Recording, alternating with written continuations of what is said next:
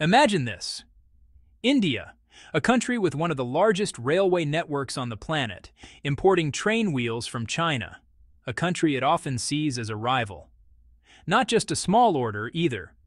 In 2022, India bought 39,000 wheels from China's Taiyuan heavy industry for $21 million.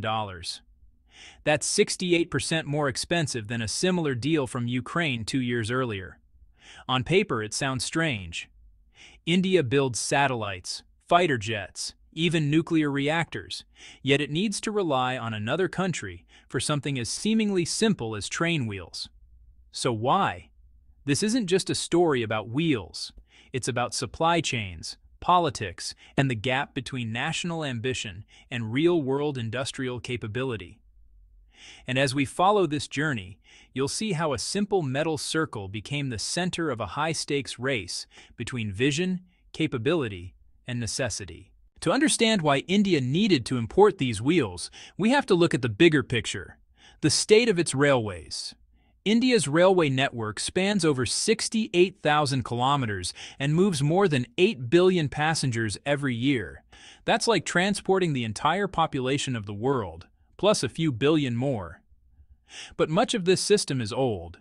Tracks, bridges, signaling systems, even some train coaches date back decades. And the strain is showing.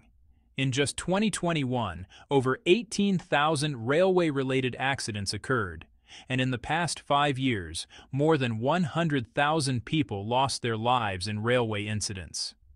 The demand is growing too, with India's economy expanding and millions wanting faster, safer, and cleaner trains. Modernization isn't a simple upgrade. It's like rebuilding a plane while it's mid-flight. Every component, down to the very wheels, must meet precise, high-quality standards to keep the system safe and efficient. Enter the Vande Bharat Express, India's pride and its answer to high-speed rail. Branded as made in India, these sleek semi-high-speed trains were designed to redefine rail travel with GPS-based info systems, automatic doors, modern braking technology, and bio-vacuum toilets. But here's the catch. While the trains are assembled in India, around 70 to 80% of their core components are still imported. The high-speed forged wheels, crucial for stability at top speeds, are a key example. Think of it like building a supercar locally. You might assemble it at home, but if your tires or engine come from abroad, it's not fully self-reliant. India has world-class engineers, but producing these wheels requires ultra-pure steel, advanced forging techniques, and microscopic precision. Even a tiny flaw could be disastrous at speeds of 160 to 200 kilometers per hour. This gap between ambition and capability created a real challenge for the rollout of hundreds of new trains. Back in 2021, India thought it had a clever solution to the wheel problem. Instead of relying on China, it signed a deal with Ukraine's Interpipe, one of the few companies in the world capable of producing high-speed rail wheels to India's strict specifications. The plan was for 30,000 wheels, enough to keep the ambitious Vande Bharat rollout on track. But then February 2022 happened. Russia invaded Ukraine. Suddenly, factories were near conflict zones, ports were closed, and supply chains collapsed. India wasn't just delayed, it was stuck. Brand new train carriages were ready to roll but had no wheels. This exposed a deeper truth. Global supply chains are fragile. A war thousands of kilometers away shouldn't paralyze infrastructure in South Asia, but it did. Faced with this urgent crisis, India had only one option left, turn to China. Now you might wonder, why didn't India just make the wheels itself? After all, it has huge steel plants, skilled engineers, and a growing manufacturing sector.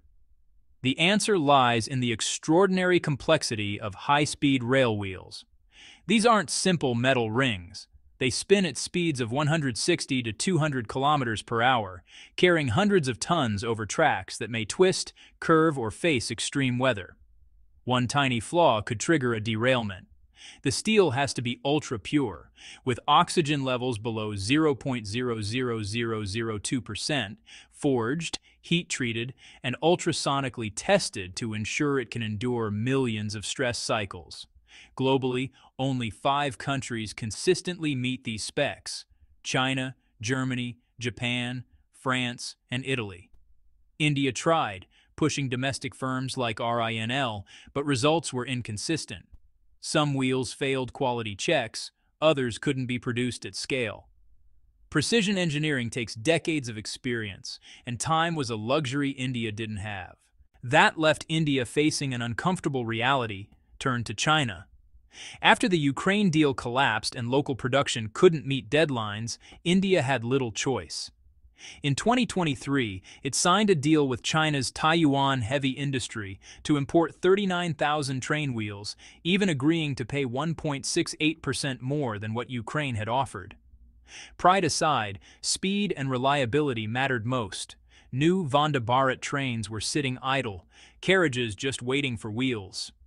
China, cautious from past experiences with Indian projects, required 60% payment up front before shipping. The move sparked political backlash, with critics calling it hypocrisy. Make in India slogans on trains running on Chinese wheels. Yet strategically, it was a calculated compromise. Sometimes progress demands uncomfortable partnerships, especially when your domestic capacity isn't enough to meet urgent national goals. Pragmatism had to override pride. Even Japan, long seen as India's reliable partner, showed cracks. The Mumbai-Ahmedabad High-Speed Rail, India's first bullet train and a flagship Indo-Japanese project, was announced in 2017 with a generous $12.8 billion loan at near zero interest. It was supposed to start operations by 2023 to 2024.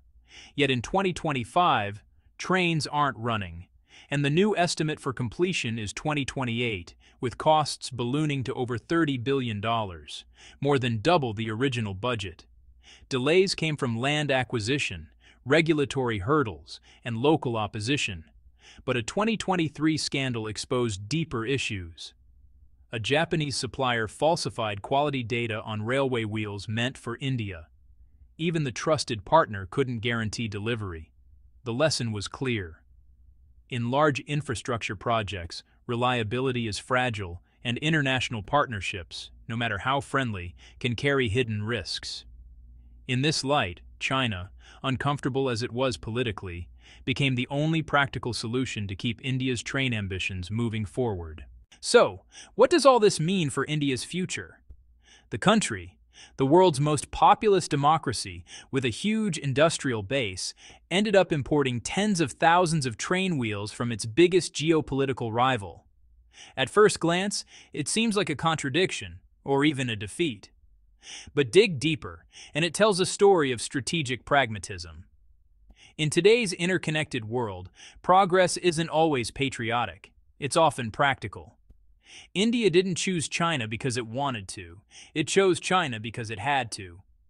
These wheels weren't just about trains. They were about keeping momentum, avoiding costly delays, and ensuring the Vande Bharat project stayed on track. True self-reliance isn't doing everything alone. It's knowing when to build, when to borrow, and when to buy smartly. India's choice reflects a mature understanding. Sometimes independence comes through strategic interdependence, not isolation. So, what can we take away from all of this?